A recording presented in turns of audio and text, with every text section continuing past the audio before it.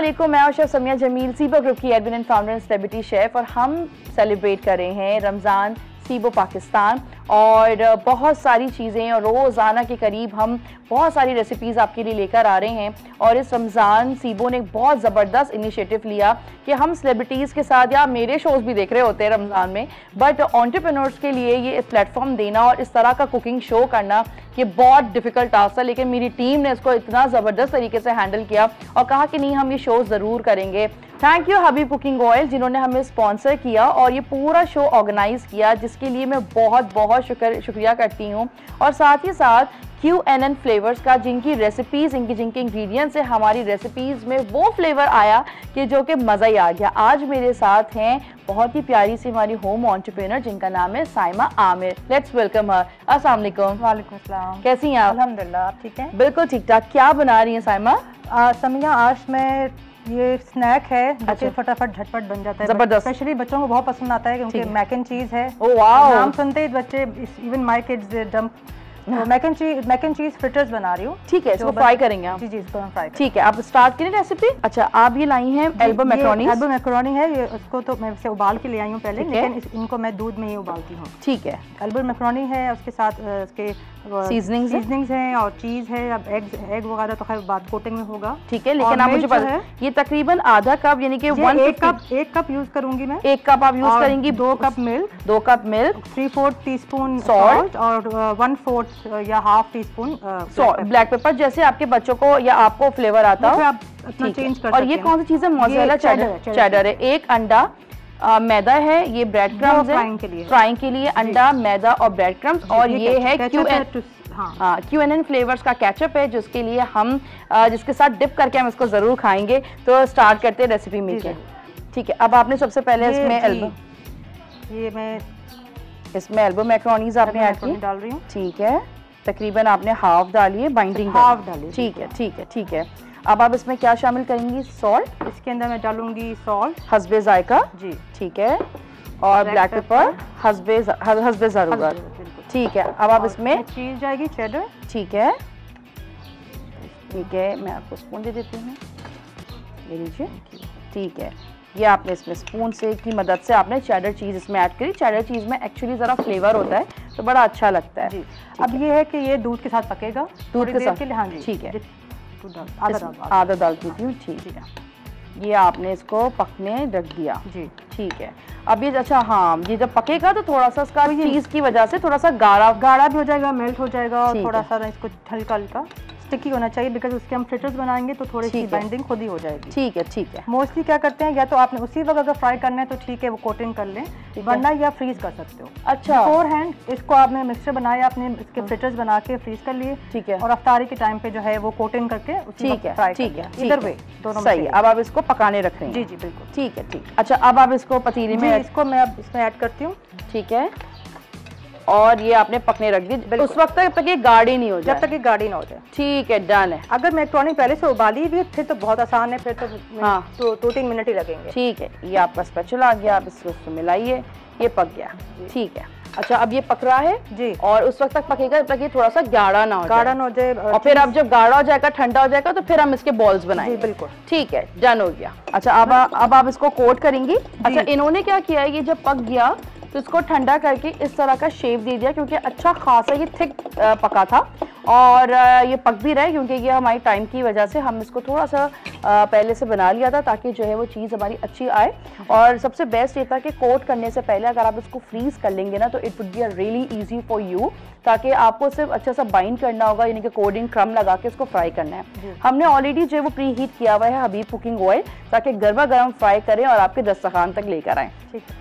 अच्छा आपने क्या किया? सबसे पहले आप अंडा मैंने अंडा ले लिया। अब मैं इसको मैदे में कोट करूँगी अच्छा मैदा है ये? जी। ठीक है मैदा। मैदे में करूँगी। फिर आप अंडा। डबल कोट भी कर सकते हैं। हाँ, डिपेंड हाँ। करता है बच्चों पे। बच्चों को तो कैसा अच्छा ज़्यादा क्रंची क्योंकि मेरे बेटे को तो बहुत क्रंची पसंद है। हाँ तो आप डबल डबल। मैं डबल डबल करती हूँ क्रिस्पी बाहर से और फिर अंदर से चीज़ निकलती तो। वाह ज़बरदस्त। फिर उस दिन तो आई लव यू मामा। ठीक है दीजिए ये एक और आप इसमें शामिल करें। वाह ज़बरदस्त। ठीक है अब हम इसके फ्राई का तकरीबन वो वाला हो गया। हो गया अरे वाह हो ये देखें कितना इजी है और जब आप हबीब कुकिंग ऑयल में फ्राई करते हैं तो बहुत ही खुशबू और बहुत ही ज़बरदस्त इसका जो है वो कलर आता है टेक्सचर आता है। ये हो गया ज़बरदस्त ये निकाल लिया मैंने। हु हु हु ये आप देख सकते हैं कितना खूबसूरत बड़ा गोल्डन ब्राउन आइडियल कलर ये मैंने इसमें शामिल कर दिया ठीक है। अब हम इसकी मज़ीद फ्राई करेंगे और फिर हम इसकी आपको प्रेजेंटेशन करना बताएँगे। अच्छा ये बिल्कुल रेसिपी तैयार है और ये बड़ा खूबसूरत सा अपने घर से ही प्लेटर डिज़ाइन करके लेकर आई थी और आपने इसको डॉली पेपर के अंदर जो। आप कपकेक Cupcake कपकेक लाइनर कह लें या डॉली पेपर कह लें सर आप करके सर्व कर सकते हैं। मैं इसको ज़रा सा दिखा दूँ। ये बड़ा गर्मा गर्म है और ये देखें आप oh wow it's really yummy और आई होप कि जब ये आपके बच्चों के मुँह में और आप जब इसको अफ्तारी के वक्त खा रहे होंगे ना गर्मा गर्म मैं मतलब मेरा ये कॉन्सेप्ट था कि रमज़ानों में अफ्तारी के अलावा कुछ चीज़ें हों। अब हम सेकंड रेसिपी की तरफ़ आते हैं बिनोफी पाए बना रही हैं। अच्छा अब आपने पायरेक्स की डिश ले ली है और अब इसके अंदर जो है वो डाइजेस्टिव बिस्किट्स ये ज़रूरी डाइजेस्टिव बिस्किट हो या कोई आप भी? कुछ भी ले सकते हैं बेकरी के बिस्किट्स भी लें? भी आपकी मर्ज़ी है आपके टेस्ट पे डिपेंड करता है ठीक है। आपको अच्छा लग रहा है। आप कर सकते हैं। इसमें मैंने मक्खन थोड़ा सा ऐड किया अच्छा। ताकि बाइंडिंग हो जाए इसकी। ठीक है। मुझे स्पून देंगी प्लीज़ बिल्कुल। असूलन तो ये फ्रीजर में जाना चाहिए आधा पौना घंटा अच्छा। ताकि बेस थोड़ी सेट हो जाए ना। सेट हो जाए। क्योंकि अभी ये सेट नहीं होगी। अच्छा आप इसको तकरीबन आधा घंटे के लिए हम इसको फ्रिज में रखें ताकि फ्रीजर में रखें फ्रीजर में। जल्दी हाँ ये हो जाएगा Set हो जाएगा। सेट हो जाएगा बिल्कुल ये हिलेगा नहीं। उसके बाद मैं पहले से मैंने अपना उसका कैरेमल बना के लाई हूँ। अच्छा ये कैसा आप कैरेमल बना आप कुमेल। कुमेल। को मैंने कितना कितना एक पूरा एक छोटा वाला कैन जो छोटा वाला हाँ। Can small can small can है उसको मैंने दो घंटे पानी में रख के पकाया है। अच्छा। और कितना पानी कि- दिया आपने? भर के जितना मर्ज़ी भर दें आप उसको डिप होना चाहिए इसके अंदर। ये कैन को। अच्छा, कैन कैन। खोल- कैन को खोलना नहीं है कैन अच्छा। बंद ही है। बस आपने अंदर रखना है ये मेरी अपनी ट्रिक थी जो मैं बता दी ठीक है सही तो ये आप इसको ये इस तरह इतना गाढ़ा हो जाएगा। अच्छा अब आपने एक मीडियम साइज़ कुमेल लिया उसको भर के पानी की पूरा टिन जो है वो मेल्ट हो जाए और उसको आप पकाएँगी। जी। और उसके बाद फिर आप जब वो बिल्कुल गाढ़ा हो जाए यानी कि पानी बिल्कुल ऑलमोस्ट खुश्क हो जाए। तो फिर आप उस टिन को निकाल के और टिन को कैन को ओपन करके इस तरीके से आप इसको पोर करेंगे। कि सारा फैल जाएगा। ठीक है। क्योंकि मुझे वो दूसरे शॉर्ट्स को भी करना है। ठीक है ठीक है। उसके बाद इस पर ना ये बनाना आ जाएँगे ठीक है। आप जितने मर्ज़ी डालें। आप और भी फ्रूट्स अपने ऐड कर सकते हैं वो आपकी मर्ज़ी है। ठीक है ये आपने ले लिया। गुड ज़बरदस्त। सारा अच्छी तरह फैला के। अच्छा। पूरा कवर हो जाए एक एक मैं तो पूरा एक एक खोल के पूरा अच्छा हूँ ताकि आप मुझे एक बात बताइए इसमें और भी कोई वेजिट फ्रूट्स यूज़ कर सकते हैं? अपनी मर्ज़ी अच्छा, ठीक है। जो उसकी जो ओरिजिनल रेसिपी है टिश्यू दे दूँ ठीक है। ओरिजिनल रेसिपी उसमें जो बनाना ही आते हैं। ओके क्रीम इस पर पूरी लेयर आप जो है मिल्क पैक की डाल लें जो भी है इसको अच्छी तरह बीट करके पूरा फैला लें। और फिर अभी फ़िलहाल तो मैं ये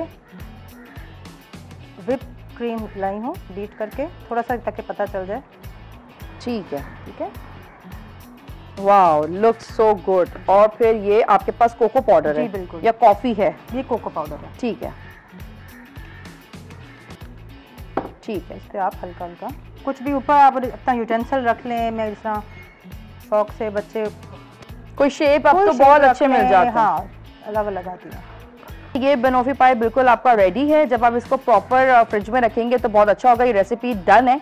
और अब हम आप, हम आपको इसकी प्रॉपर प्रेजेंटेशन दिखाते हैं। ओके okay भाई ये सारी रेसिपी हो गई हैं कंप्लीट आपके सामने जो है वो mac and cheese crepe mac and cheese fritters fritters जो है वो रेडी हैं और यहाँ पे बिनोफी पाई भी जो है वो बिल्कुल रेडी है। इसकी प्रेजेंटेशन बड़ी आउट क्लास है। आपको जो है वो मोइज़ अंसारी जो है वो अपने फाइनल शॉट में दिखाएँगे। जब तक मैं और साइमा आमिर जो है वो आपसे इजाज़त लेते हैं कल एक फिर मिलेंगे एक और से बहुत ही ज़बरदस्त एक home entrepreneur home entrepreneur chef के साथ जो कि बनाएँगे आपकी अफ्तारी या सहरी मज़ेदार, अपना बहुत सारा ख्याल रखिएगा। सीबो रमज़ान, पाकिस्तान से। अल्लाह हाफिज़। अल्लाह हाफिज़।